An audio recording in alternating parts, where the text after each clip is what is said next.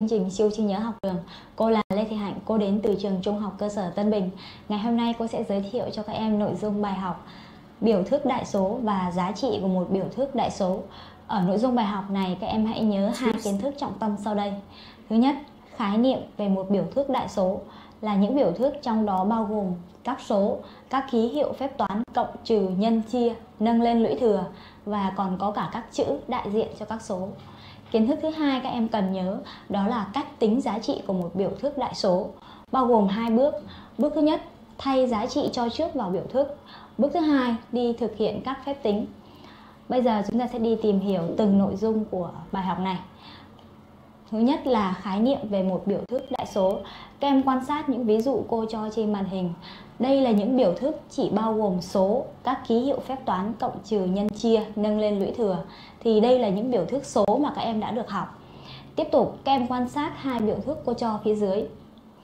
Hai biểu thức này, ngoài các số, các ký hiệu phép toán cộng trừ nhân chia, nâng lên lũy thừa thì còn có cả các chữ đại diện cho các số thì những biểu thức như vậy người ta gọi là biểu thức đại số. Vậy biểu thức đại số là gì?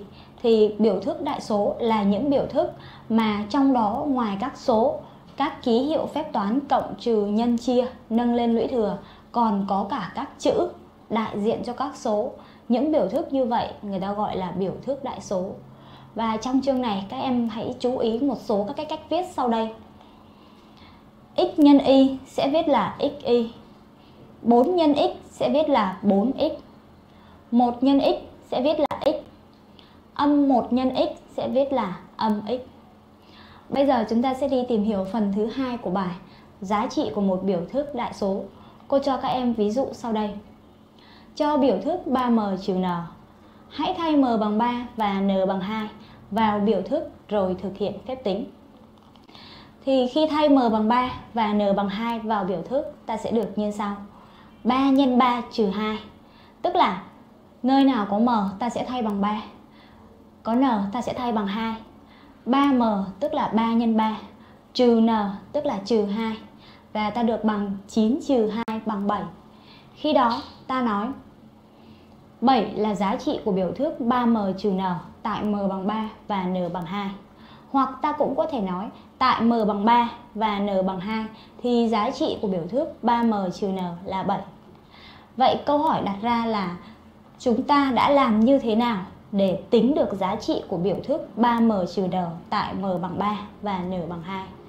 Thì câu trả lời chúng ta đã đi thay m bằng 3 và n bằng 2 vào biểu thức rồi thực hiện phép tính. Như vậy qua ví dụ này em hãy cho biết Muốn tính giá trị của một biểu thức đại số tại những giá trị cho trước của biến, ta làm như thế nào? Thì cách chúng ta làm là để tính được giá trị của một biểu thức đại số tại những giá trị cho trước của biến, ta sẽ đi thay các giá trị cho trước đó vào biểu thức rồi thực hiện các phép tính.